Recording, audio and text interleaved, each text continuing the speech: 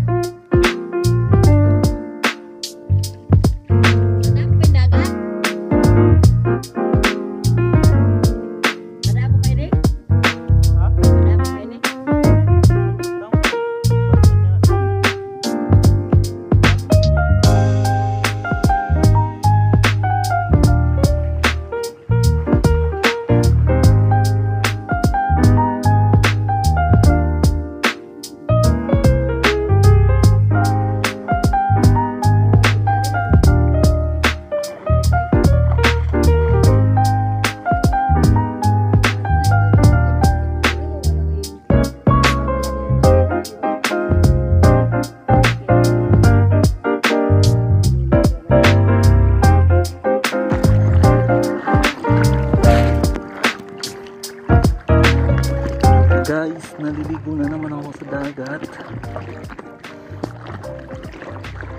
Pero hindi ganun ka high tide ngayon kaya kailangan natin pumunta sa malayo. Nakita nyo ba ako? Hindi ko nakikita sarili ko eh. Silaw.